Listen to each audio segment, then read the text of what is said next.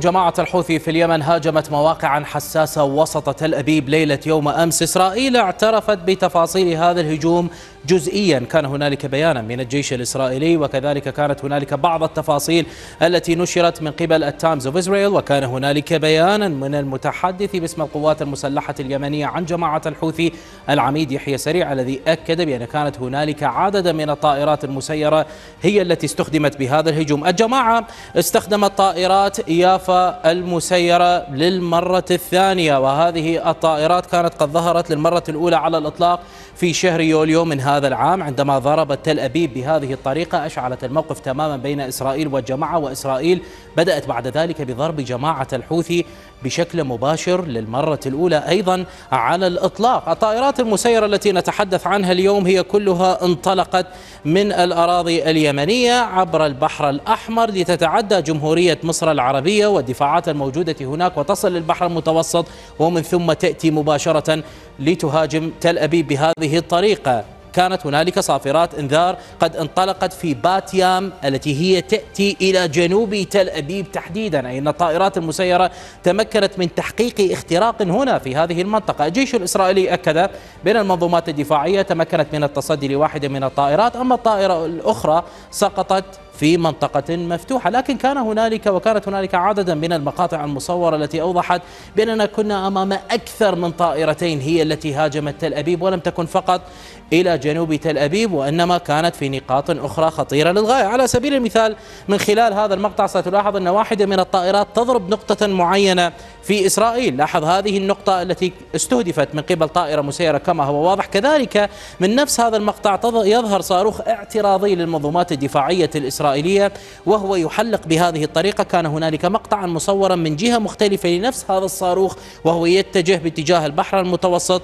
ليضرب طائرة مسيرة أخرى هنا في هذه المنطقة. كما لاحظنا من خلال هذا المقطع المصور تلاحظ تماما بأننا أمام شكل مميز طبعا من الساحل هنا الإسرائيلي في البحر المتوسط. تلاحظ بأننا أمام محطة للطاقة وبأن هذا الصاروخ الاعتراضي انطلق من خلف من المنطقة التي تأتي خلف هذه المحطة تحديدا التي نتحدث عنها بهذه الطريقة تماما. نفس هذا الموقع في تل أبيب. إذا ما اتجهنا للقمر الصناعي لندقق أكثر بطبيعة هذا الهجوم سنجد بأننا وسط تل أبيب كما هو ملاحظ وهذا هو نفس الساحل الذي نراه ومحطة الطاقة التي نتحدث عنها الظاهرة أمامنا هي هنا بالضبط. بالتالي المنظومة الدفاعية كانت قد انطلقت من هذه المنطقة التي تأتي إلى شمال تل أبيب وهي هرتسيليا وإلى جنوب هرتسيليا. ستلاحظ بأننا أمام من؟ أمام مقر الموساد الإسرائيلي. هذا المقر هو الذي أيضا استهدف في الثمانية وأربعين ساعة الماضية من قبل إيران بصاروخ فتاح واحد صاروخ الفرد صوت للمرة الأولى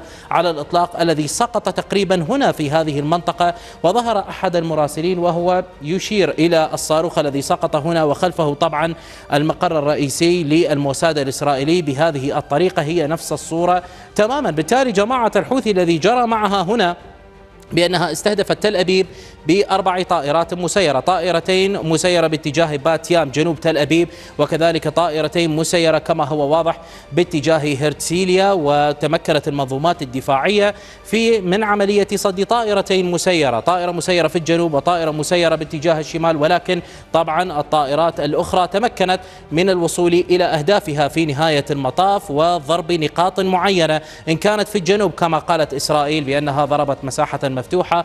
أما الأخرى فهي ضربت نقطة معينة لم تصرح عنها إسرائيل حتى هذه اللحظة المنطقة الخطيرة التي يتواجد فيها مقر الموساد الإسرائيلي الذي استهدف من إيران. كما نتحدث وهي مسألة واضحة جدا أن استهداف مقر الموساد هنا إن كان من إيران أو إن كان من جماعة الحوثي أو إن كان حتى من حزب الله هي مسألة انتقام لعمليات الاغتيال التي نفذها الموساد الإسرائيلي ضد حسن نصر الله أو حتى إسماعيل هنية أو عباس نلفروجان أو أي من الشخصيات المهمة من محور المقاومة بأكمله بشكل عام. الهجوم القادم من قبل جماعة الحوثي بهذه الطائرات بهذه الطريقة هو يعتبر من أكبر الهجمات التي نفذت بطائرات يافا والأكثر فعالية حتى هذه اللحظة مقارنة طبعا بشهر يوليو كان هو الأخطر ولكن نحن أمام هجوم أعلى بنسبة أعلى يحاول من ضرب مناطقا تتواجد فيه آه، مناطق أو مواقع للموساد الإسرائيلي. هذا الهجوم هو من أجل تشتيت الجبهات كما هو واضح على إسرائيل التي ترغب الآن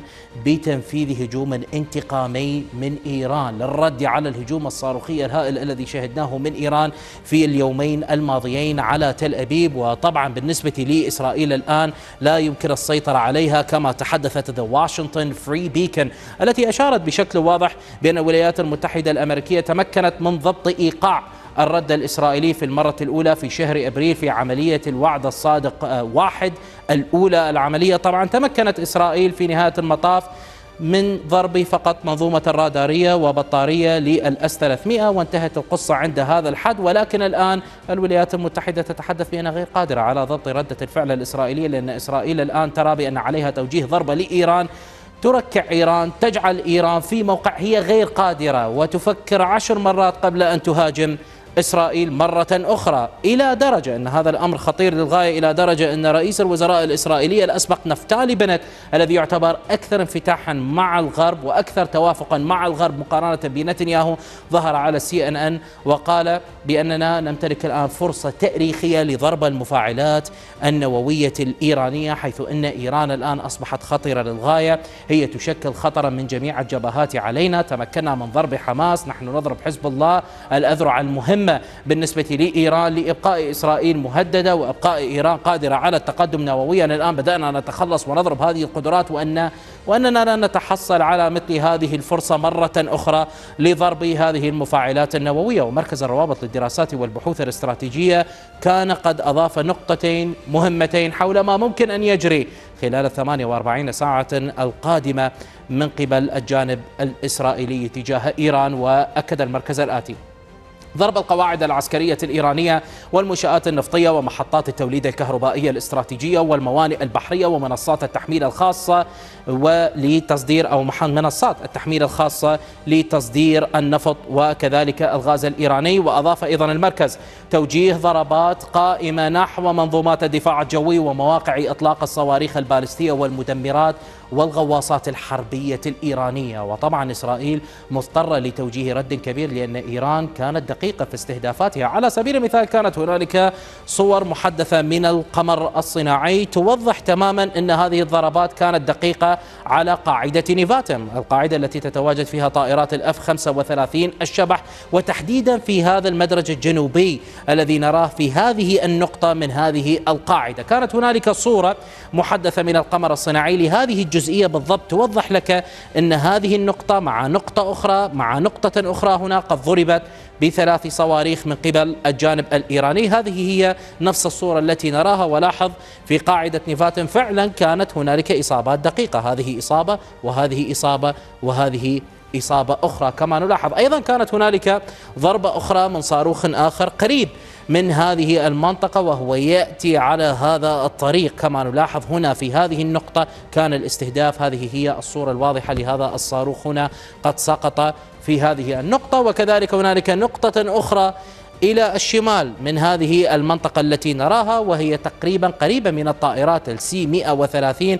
كان قد الصاروخ قد سقط في هذه المنطقة تحديدا. لاحظ هذه هي الصورة قد لا تكون واضحة ولكن هي في حقيقة الأمر. هذه هي المنطقة بشكل عام الجانب الإيراني. ضرب عددا من الصواريخ. هنالك شك أيضا حول هذه النقطة ما إذا كانت هي النقطة أي نقطة أخرى لصاروخ آخر قد ضرب طائرة معينة وسحبت أو أن الطائرة قد حلقت ومن حسن حظ الطائرة قد تخلصت من هذه الضربة.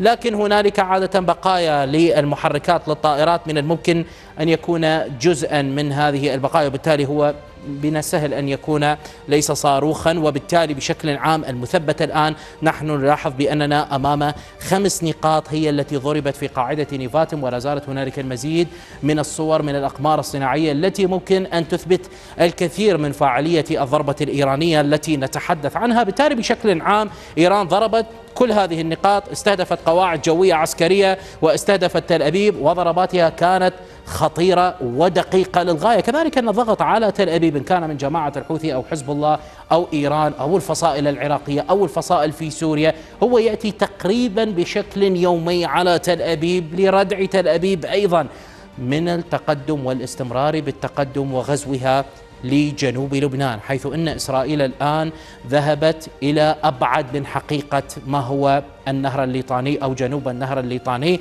هي طلبت إخلاء لكل هذه البلدات التي نراها تقريبا 24 أو 25 قرية ومزرعة. وهذه هي المناطق التي طالبوا بإخلائها. لاحظ في الأول من أكتوبر هم طالبوا بإخلاء كل هذه القرى جنوب النهر الليطاني. الآن طالبوا اليوم بإخلاء كل هذه القرى طالبوا المدنيين أن يتركوا منازلهم ومناطقهم ليتجهوا إلى الشمال إلى أين؟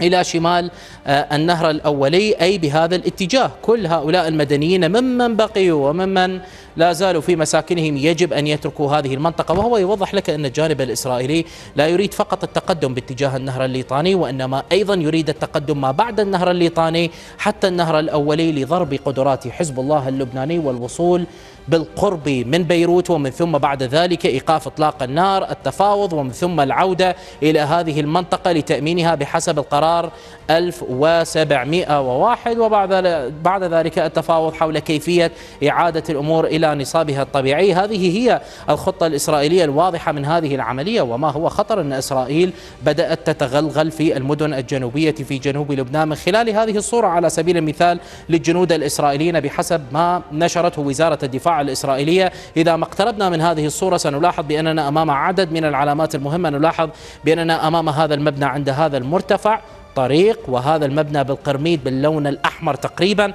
ونلاحظ أيضا هذه الأرضية مميزة بهذا الاتجاه. هنالك طريق كما نلاحظ وأيضا شجرة كبيرة واضحة. وبالتالي إذا ما آه، استغلينا هذه العلامات التي نراها الآن سنجد بأنها تأتي باتجاه كريات شمونة هنالك تغلغل من قبل إسرائيل في داخل الأراضي اللبنانية. وهذه هي النقاط. هذا هو المبنى الأول وهذا هو المبنى بالقرميد الأحمر الذي تحدثنا عنه. والطريق واضح وكذلك هذه نفس نفس النقاط التي كانت ظاهرة أمامنا. لاحظ هذا هو المبنى الأول نفس الطريق المبنى الثاني. وتلاحظ بأن هذه هي كلها نفس الأرضية التي كانت ظاهرة أمامنا. هذا هو الطريق وأيضا في نفس الوقت هذه هي الشجرة. وبالتالي هذا يؤكد لك أن الجانب الإسرائيلي قد تقدم ولكن تقدم بسيط تقريبا 100 متر. هي عملية التقدم وأن هؤلاء الجنود كانوا واقفين في هذه المنطقة وظهرت كل هذه العلامات أمامهم. وواضح جدا أن الجانب الإسرائيلي هنا يبحث عن مسألة مهمة للغاية ألا وهي